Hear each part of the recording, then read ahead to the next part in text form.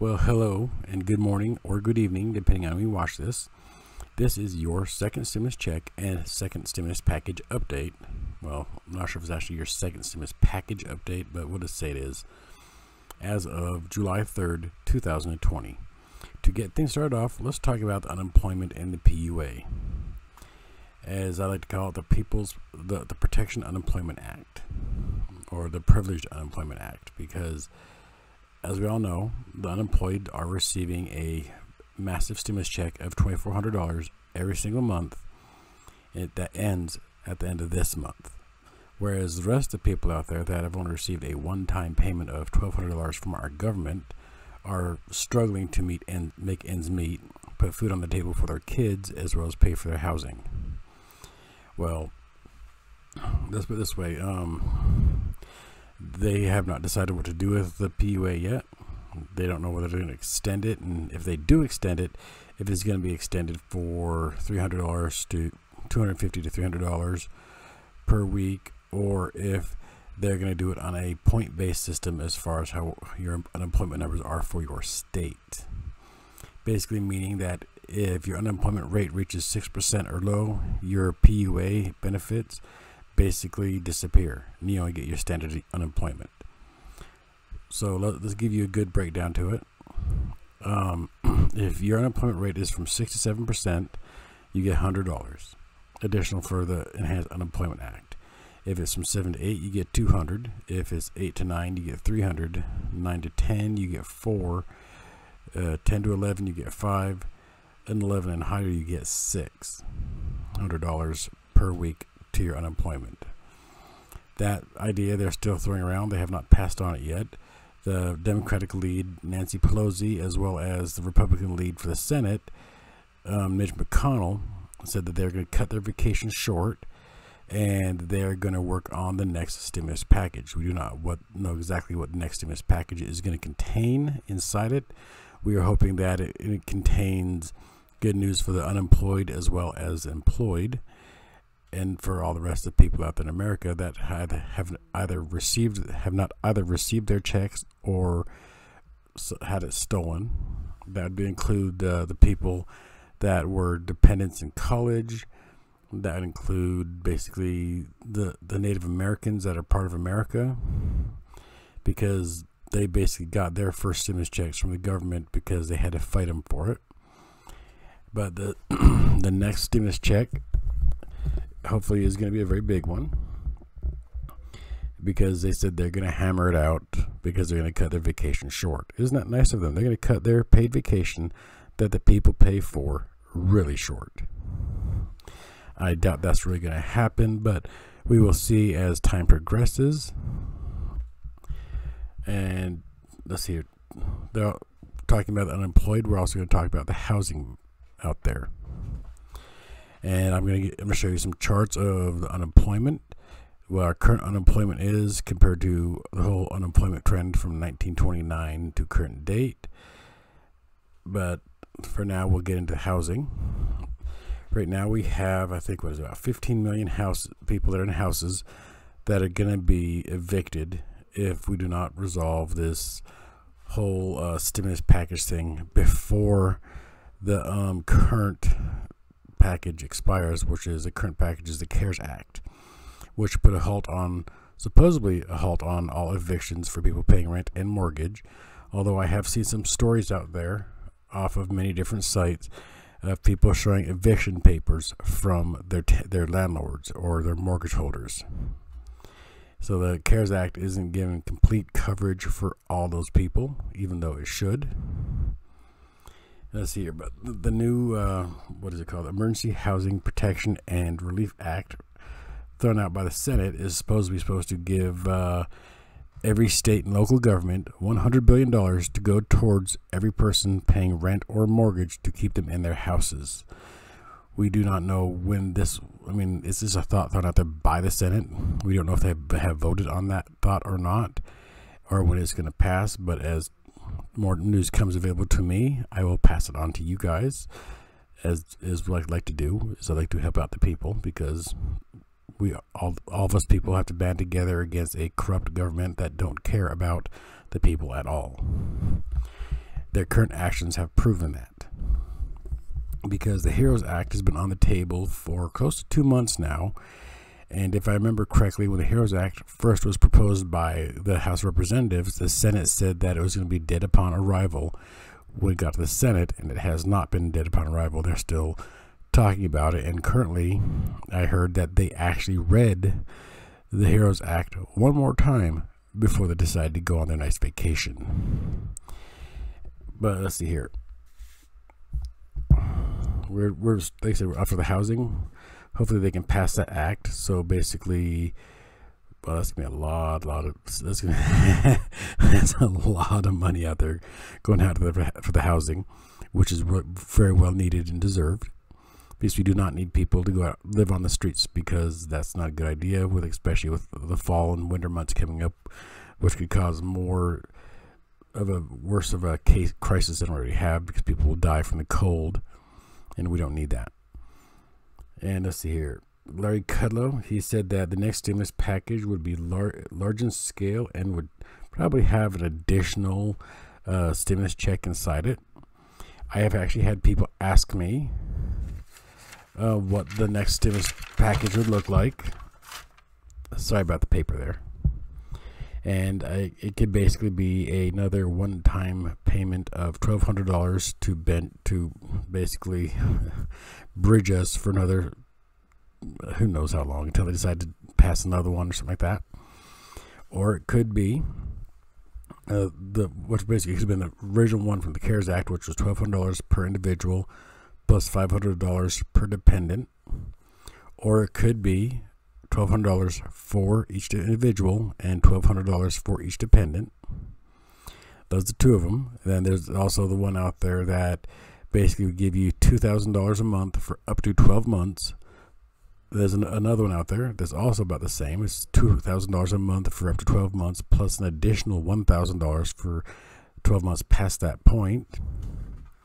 And I, I don't know what it's going to be. I mean, if they do the two thousand dollars a month for twelve months, it's that's to be, be retroactive as well as recurring, as well as I think the twelve thousand two thousand dollars a month for twelve months plus one thousand dollars for each additional month past that. I think that's also retroactive. I'm not exactly positive about that, but as we're talking about the people, let's talk about the Heroes Act. Like I said, the Heroes Act has been read one more time by the beautiful Senate before they decide to go on the nice paid vacation that we pay for. But if you believe that the Senate going on a vacation at this present time of crisis is a bad idea, please hit that like button. And so this, my content can get out to other viewers that will see this can see the same thing as we do that we care about everyone on this in the United States as well as on this planet. And let's see here let's see here, all the packages they have out there. They have another $1,200 single payment package out there, which is a Heroes Act. They have a thought for the $2,000 re retroactive and recurring for 12 months. They have one out there for the $2,000 for 12 months plus $1,000 for each additional month past the original 12 months. They also have a $4,000 Trump thought up tax credit, which is called the Travel America Tax Credit which basically would give the um, people a $4,000 tax credit if they spent one on vacation and spent $8,000. That's right. You go on vacation, you spend $8,000, and you only get half of that back as a tax credit. What good that will do for you at this present time is beyond me because I don't know of any American out there that isn't loaded that can afford to go on vacation at this present time in this crisis and with the spread of COVID. Then they also have another tax credit out there, which was sought up by the Senate, which is also basically the same thing. It's a $4,000 tax credit that it basically, if you spend $4,000, you can file it all on your tax form and get your full $4,000 back as long as each purchase, purchase was $50 or greater. And then, as I heard today, there's another tax credit out there. It's called the dining tax credit. You heard me right the dining tax credit. And basically, what it does is it pays you to go out and eat. Well, as I stated earlier, I mean, who in besides the people that are loaded down with money, like the celebrities and the senator and the pre president and the legislator has money to go out to eat at this present time when we have millions and millions of people out there starving and suffering from COVID 19 that needs to be taken care of first.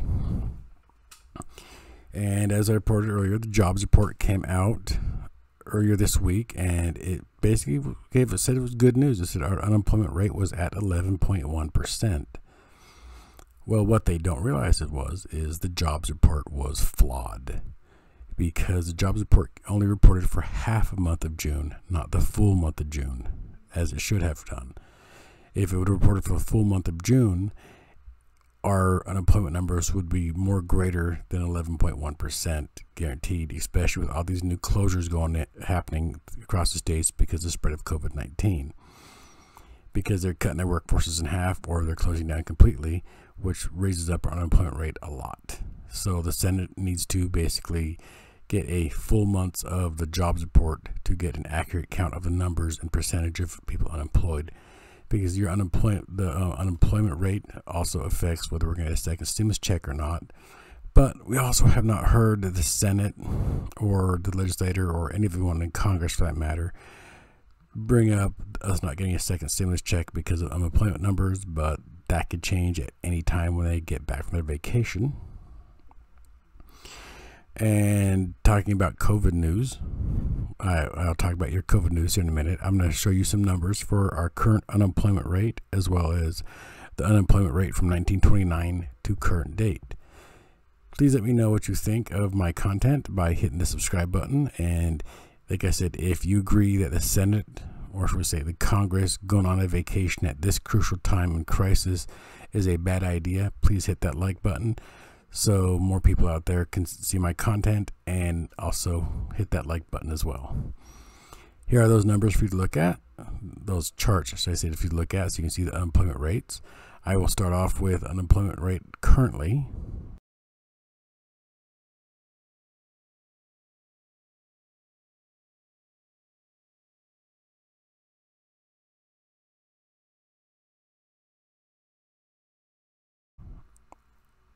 And then I will move on to the unemployment rate from 1929 to current date.